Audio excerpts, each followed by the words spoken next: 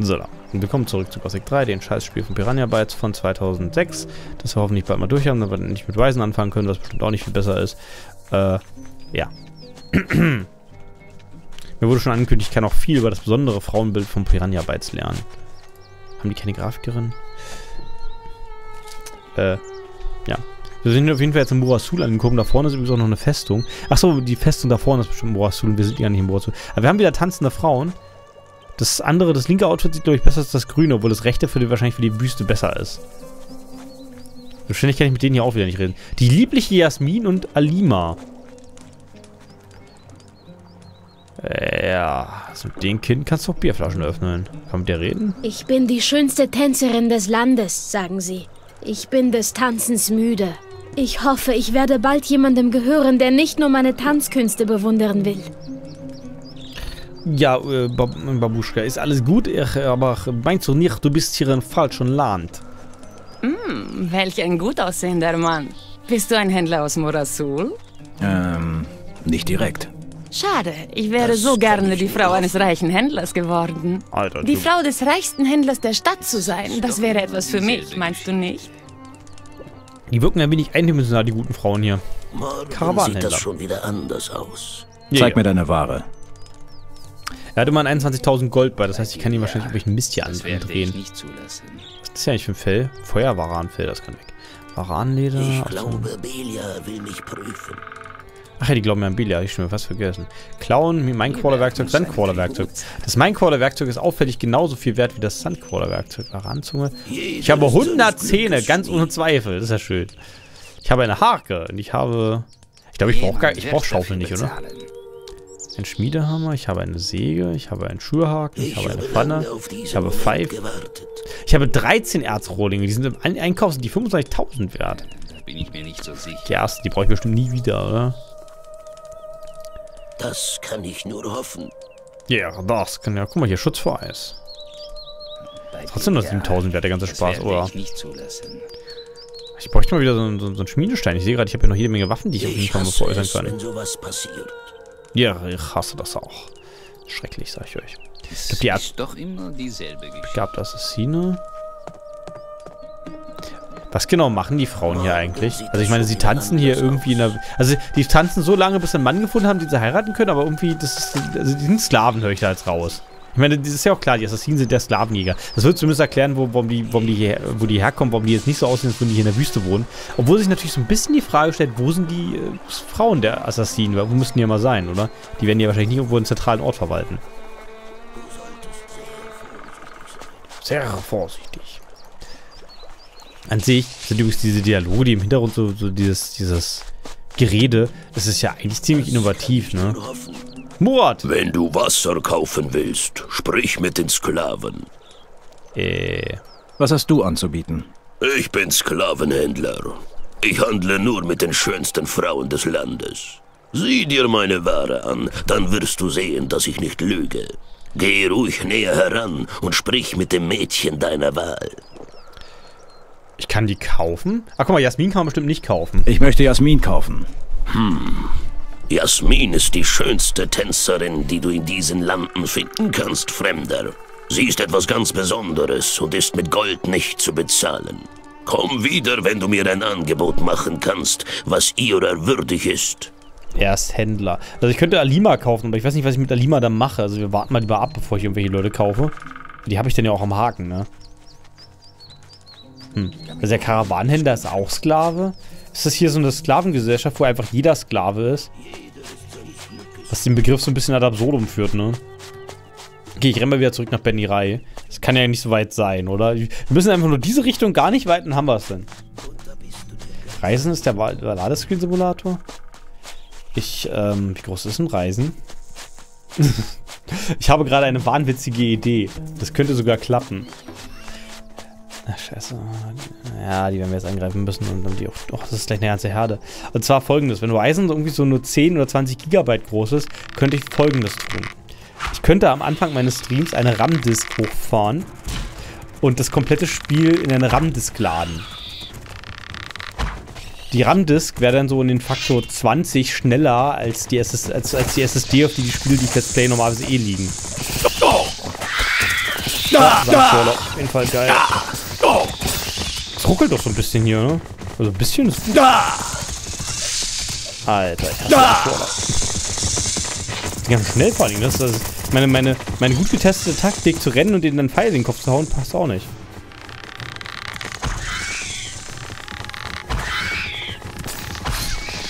Oh, ich habe durch, Zufall- ich hab durch Zufall den einen Sandcrawler getroffen, der tatsächlich wenig HP hatte.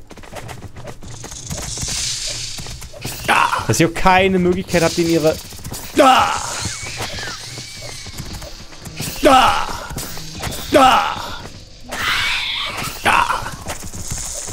Deckung zu brechen.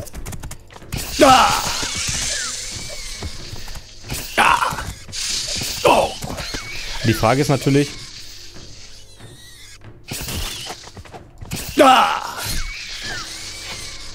könnte ich endlich mal was mit einem RAM machen? Also der RAM-Disk ist eigentlich eine gute Idee. Also das ist, ähm, das ist so die, die Ultima Ratio. Weißt du, wenn, wenn du halt so irgendwas hast, was total langsam läuft und du hast halt die Schnauze voll, dann haust du das alles in RAM rein. Das ist so zum Beispiel wie SAP. Was ist die Minecrawler-Zangen? Hä, warum fallen die Minecrawler-Zangen denn ab?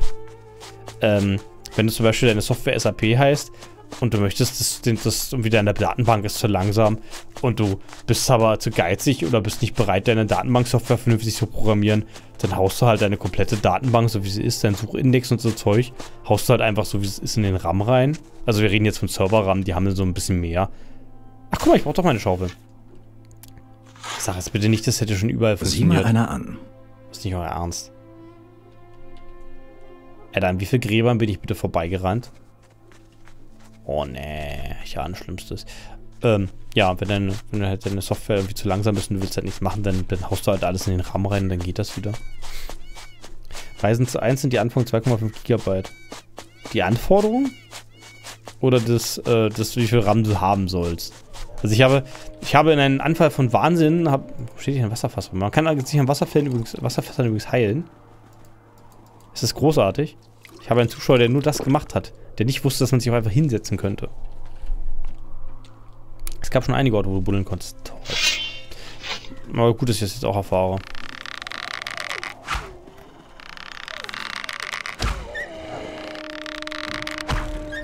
Bonuspunkte, wenn ich einen Tag kalt töte, vor da ist. So. Wo ist eigentlich mein Schild?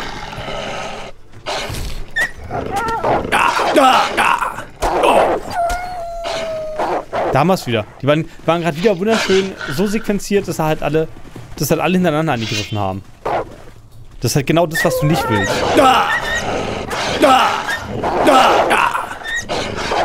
Du willst halt, dass die Wände dann am besten alle gleichzeitig angreifen. So dass du halt reinhauen kannst.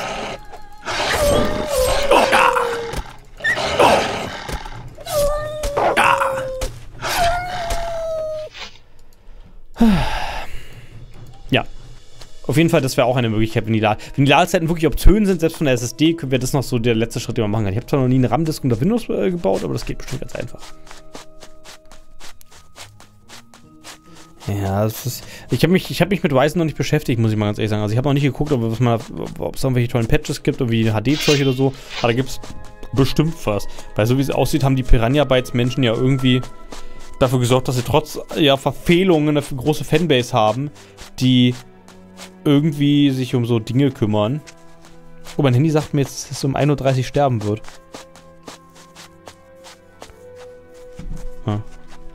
Ich bin heute mit, mit Skype-Anruf und Pokémon Go durch die Gegend gelaufen, weil ich noch was machen wollte. Das war nicht gut für meinen Akku. Für Spazieren. Verfehlung, das ist, das ist gut, ne? Das ist für ihre Verfehlung. Ähm, ja. Das gehe ich mal stark davon aus, dass es für Weisen auch Patchen gibt. Wir müssen erstmal äh, Gothic 3 durchspielen, das kann noch ein bisschen dauern.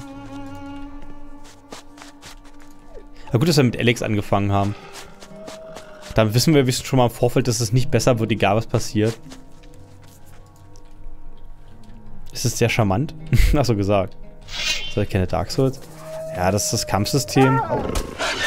Ich will mal ehrlich sein, dass das Kampfsystem von Gothic 1 und 2 war irgendwie besser, ne? Also jetzt habe ich in Alex nicht versucht, im Nahkampf unterwegs zu sein. Also nie, glaube ich.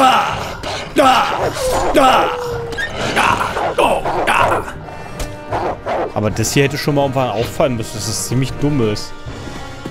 guck mal, da ist noch so ein Ort zum Graben.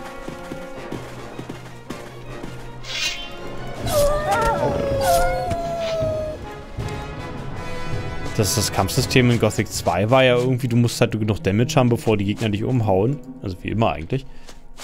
Aber, und hier ist jetzt irgendwie, du musst halt irgendwie Glück haben, dass du die Gegner-KI richtig erwischt. Sodass du sie gut, gut umhauen kannst und dass sie dich umhauen. Da hinten sitzt noch ein Wassermagier, oder?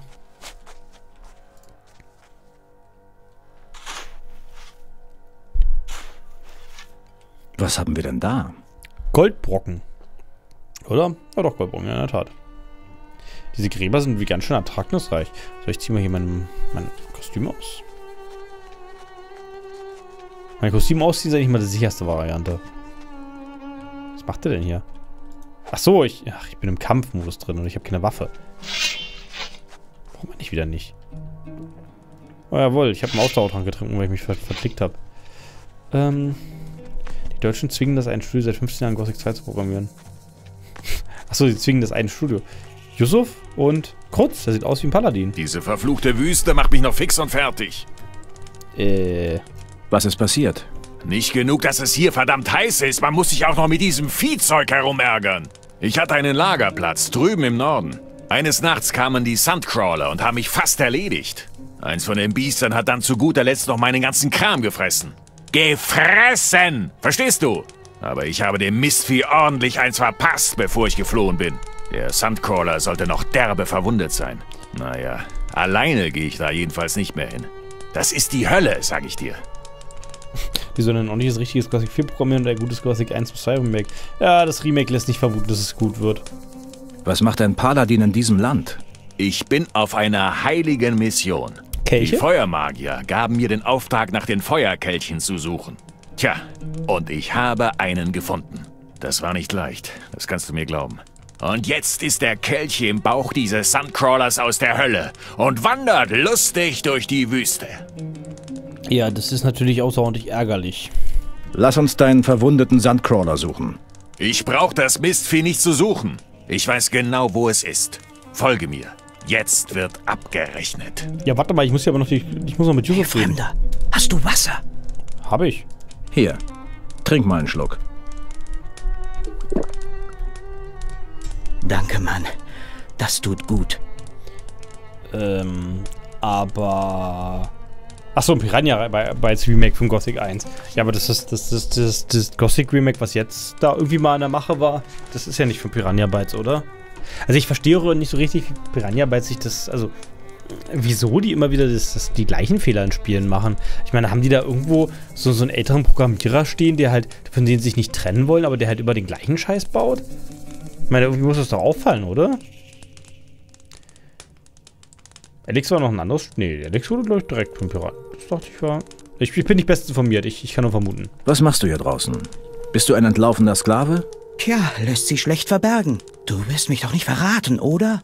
Es gibt bestimmt etwas, was ich dir geben kann, aber bitte lass mich gehen. Achso, das Remake, ja, das war Schwarzstudium. Was hast du mir zu sagen? Jeder ist hinter mir her. Ich habe die Schlüssel zum Tempel von Morasul geklaut und habe sie an einflussreiche Leute verkauft.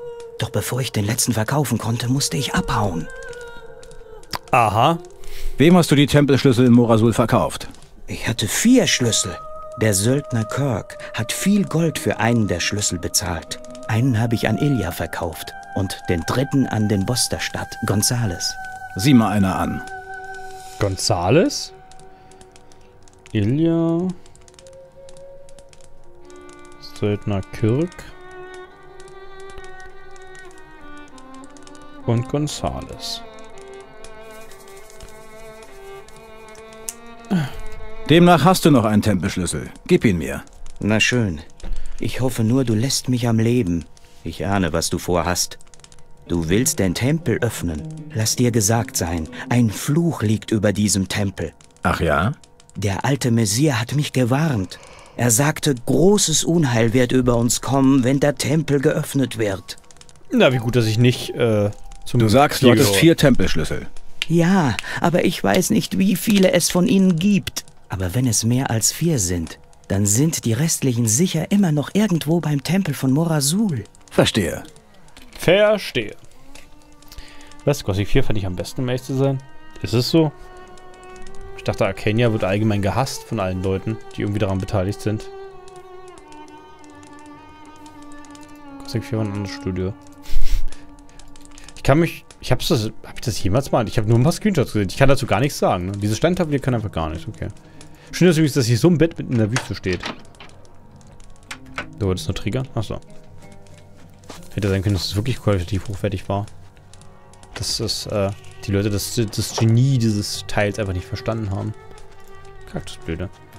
Ja, und wie gab's das? Das, das rechte Management hatten wir schon mal, schon mal über Sig 2 besprochen, oder? Also ich raste jetzt auf jeden Fall mal bis zum nächsten Morgen. Das wird nämlich, glaube ich, gerade günstig, äh, Nacht und, und der Wüste ist meistens kalt, wenn es nachts ist und das möchte ich nicht. Der Typ brennt ja hoffentlich nicht weiter, nö. Ich meine schon, ob er die ganze Sandcrawler-Geschichte, ob er es überlebt. Du hast keinen gespielt, Beziehung. Ja, siehst du, ich hol das, dann kannst du auch nachholen. Mache ich auch gerade. Geht super. Wo sind denn jetzt hier diese Sandcrawler? Ach, wir rennen gerade schon wieder auf Kurs. Hm. Ich wollte doch eigentlich nach Benny Rai. Ich weiß doch nicht, was ich noch in Benny Rai eigentlich wollte. Weiß kann es nicht mehr sein. Meine, wenn das hier jetzt so so 5% der Wüste, was wir jetzt gerade so sehen am Horizont. Aber hier, hier kommt gerade so ein bisschen Wüstenstimmung auf. Und wenn du hier so die Berge im Hintergrund nicht siehst, sondern wirklich nur das hier. Ah, da, ja, da hinten sind auch Berge. Also hier so die Perspektive, das, das hier kommt so ein bisschen Wüstenstimmung auf, auch nur wenn ich direkt davor stehe. Okay, dann ist ein Sandcrawler, sehe ich.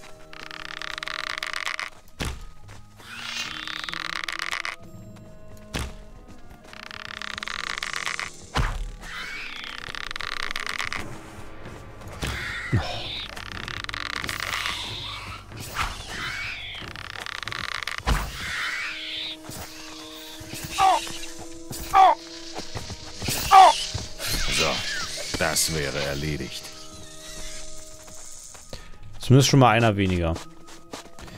Ach, verdammt. Hier ist ein Lager aufgeschlagen. Wir hoffen jetzt, dass die Sandquader tot kriegen, bevor sie sich umdrehen. Ich hätte es nur ungern, dass, dass, dass Cruz stirbt. Ich weiß nicht, wie viel Lebensmittel er hat.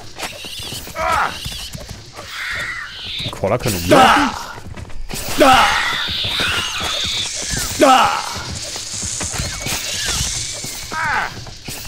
Geht schon wieder gut los. Ich kann den, ich kann den anderen Qualler aber nicht angreifen. Weil der, weil der, der, weil der, der vor mir steht, halt blockt. Was mit dir, du Mistvieh? Nö, das, das ging jetzt. Heißt der, andere, heißt der ein Sandcrawler irgendwie anders? Nö. Na gut, das äh, lief ja. Oder wir Fuß noch weiterziehen. Der, der kommentiert auch Yusuf nicht, der bei ihm war, ne? So, und jetzt? Guck dir das an. Hier ist mein alter Lagerplatz. Dein verwundeter Sandcrawler ist erledigt. Gut so. Dieses Mistvieh war von Belia selbst besessen, glaub mir. Was ist jetzt mit deinem Feuerkelch? Ich brauche nochmal deine Hilfe. Schneide den Sandcrawler auf und hol das Ding aus ihm heraus. Dann bringst du den verdammten Kelch zu den Feuermagiern nach Nordmar. Ich werde hier weitersuchen, ob ich doch noch mehr finde.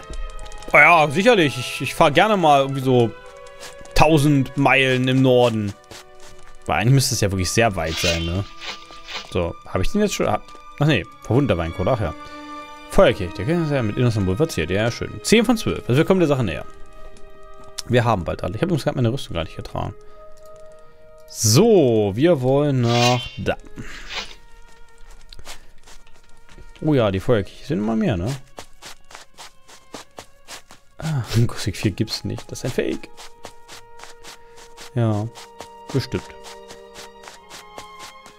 Eigentlich, eigentlich auch beachtlich, oder? Obwohl, ich wollte gerade argumentieren, dass das halt jeder Gothic-Teil immer schlechter geworden ist. Aber das stimmt eigentlich nicht. Eigentlich war Gothic 2 war eigentlich sehr solide, war eine gute Fortsetzung. Vor allem, wenn man bedenkt, wann das war. Ich meine, aus heutiger Sicht natürlich hoffnungslos veraltet in vielen Aspekten. Aber seinerzeit bestimmt wegweisend, oder? Also ich kann mich halt nur wirklich an, an Gothic 1 erinnern, wo es neu war. Weil ich, ich weiß noch, wie mein Vater halt rumgerannt ist. Das war, also ein bisschen zu meiner persönlichen Geschichte war, dass das halt, das war kurz nachdem sich meine, meine Eltern getrennt hatten damals. Und da, da war ich dann halt mit meinem Vater nur noch über Wochenenden. Ich weiß noch, wie irgendwann im Sommer hat er das gespielt. Das war irgendwie Gewitter. Oder kurz vor Gewitter, auf jeden Fall war es halt irgendwie regnerisch. mitten im Sommer, es war halt warmer Tag, es gab Eis, ich will mich noch das Eis erinnern. Und dann hat er halt irgendwie Gothic abends gespielt. Oder so, so am Nachmittag, wo es halt draußen gerade geregnet hat. Und das halt gerade rumgerannt. Und ich meine, das war halt die Stelle so Richtung Sumpflager. Wo er dann sich halt von den wir auch immer einen nach zum Sumpflager führte, hat führen lassen. Damals. Die, an die Szene kann ich mich noch erinnern. Und dann meinte er, ich atme zu laut, nicht so weggehen, dass ich nicht von hinten hingucke. Das kann er bis heute nicht leiden, dass irgendjemand hinter ihm steht und atmet. Ha, good times.